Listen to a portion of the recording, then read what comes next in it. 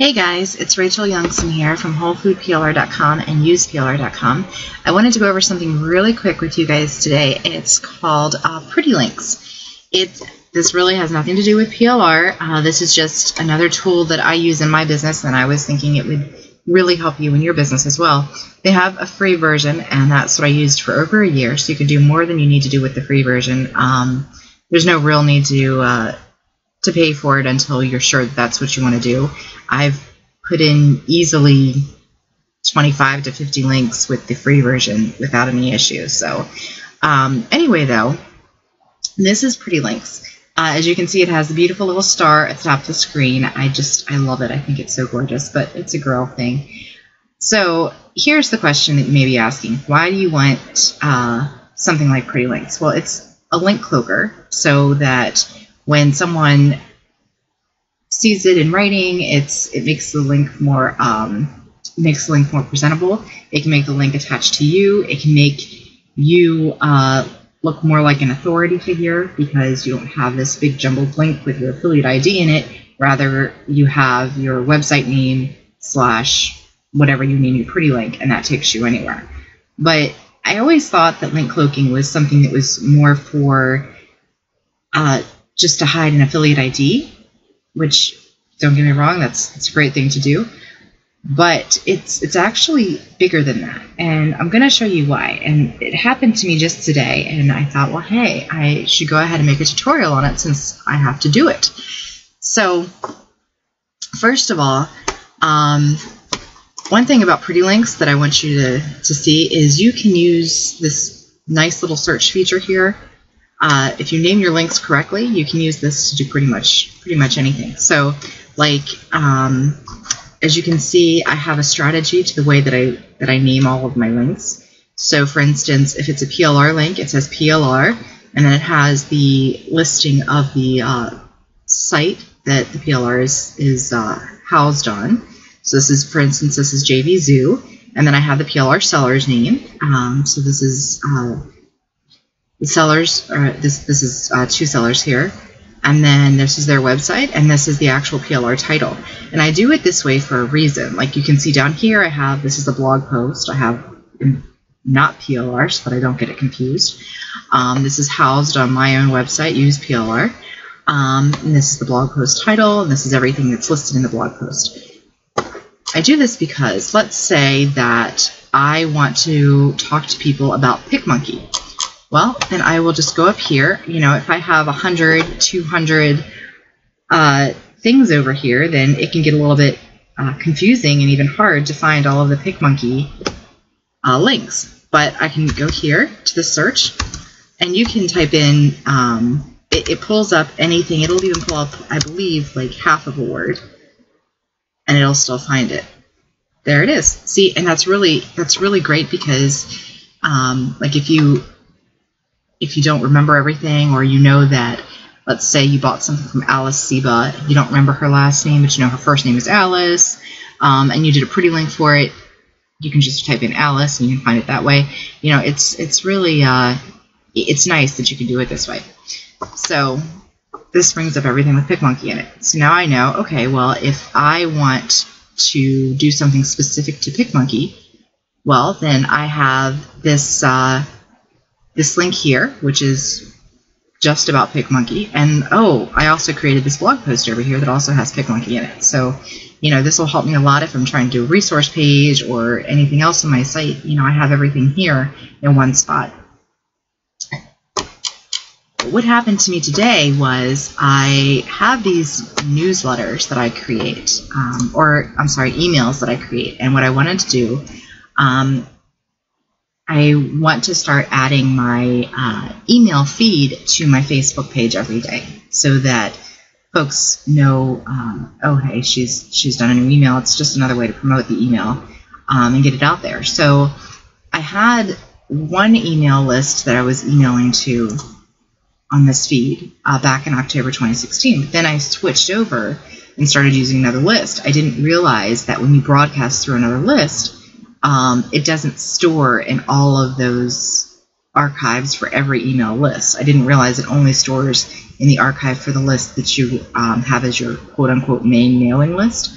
So all of those sublists don't have it listed. So like in here, you can see it looks like the last time I emailed my folks was in October, and that's obviously not the case. I harass you guys almost every day.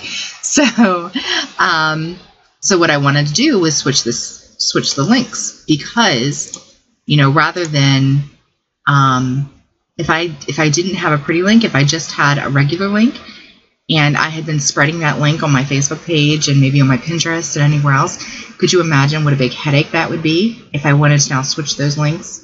If I went, or if I went back and I realized, oh my gosh, people who are following this link think that I haven't made an email since October, but I really have two more months of emails that now these people who see the, the old links aren't going to see. I mean, that would be a real headache.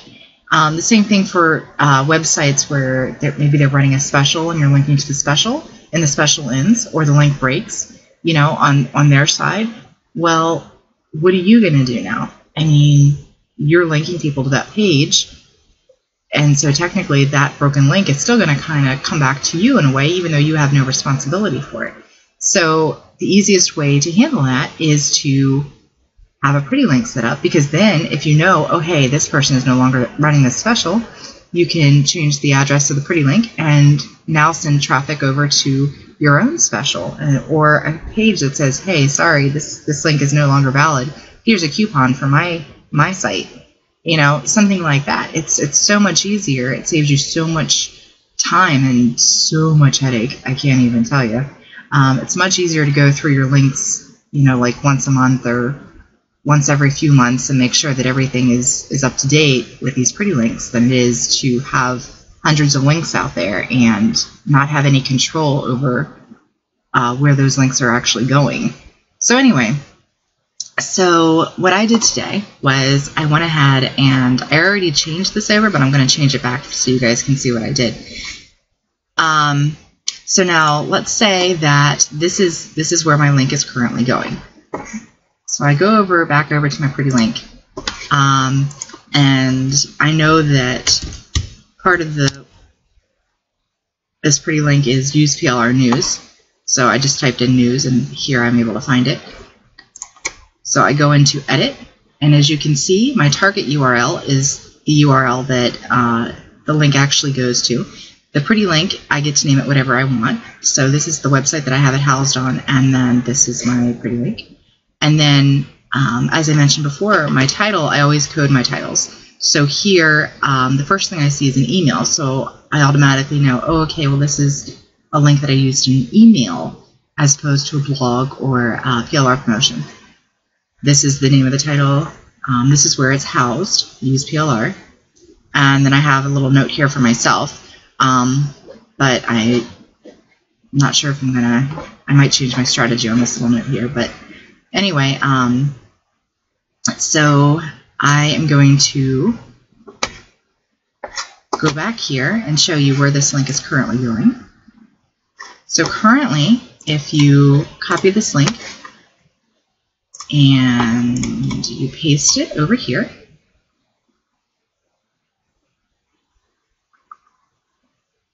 Oh, well, that's not really great. So my, uh, huh. That's not awesome. Oh, I know why I did that. I'm having some issues with JVZoo as in my um, uh, Chrome browser. I need to change it. I need to fix it. It works in my Internet Explorer. But here's the thing. I'm way too lazy to change it right now. I've got like too much on my plate. Maybe someday. So anyway, we'll paste and go.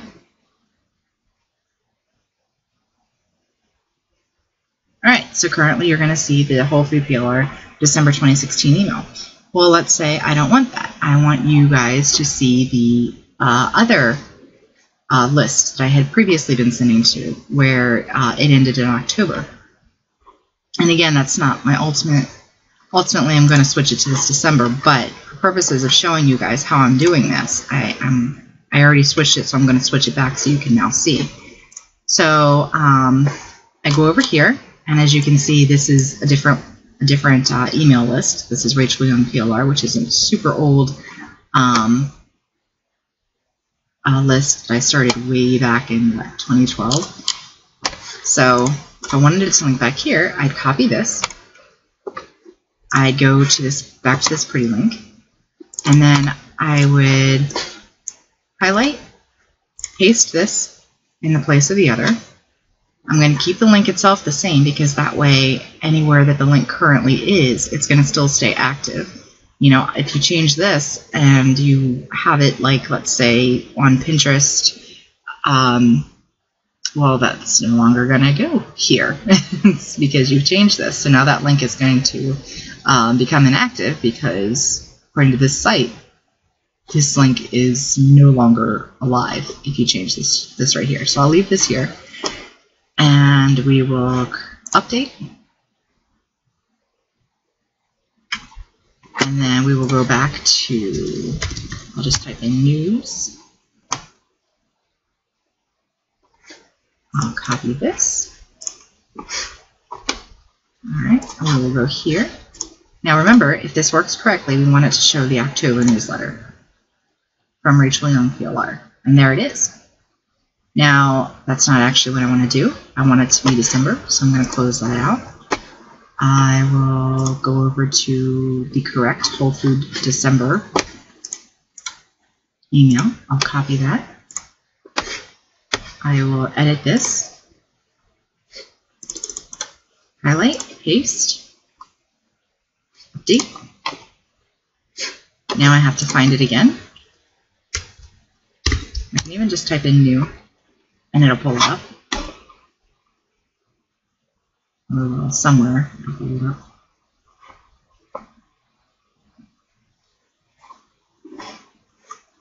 There we go. Use PLR News. So highlight, copy, come over here, and if it worked, it'll go to the December newsletter. And there it is. So now, as you can see, the link has been adjusted. And anywhere that I've had that previous link stored um, that went over to the October 2016 as being the last email update, that's all now changed. So everyone now sees these other two months of emails that I've been sending out. So that's it. That's that's Pretty Links. Uh, like I said, there's an, there's a paid version and a free version, but quite honestly, uh, paid version is really over my head for a lot of things. And I've been able to do a lot with just the free version. And I used it for over a year without any issues. So I love it. It's like one of my favorite tools. Anyway, I'll talk to you later. Have a good one.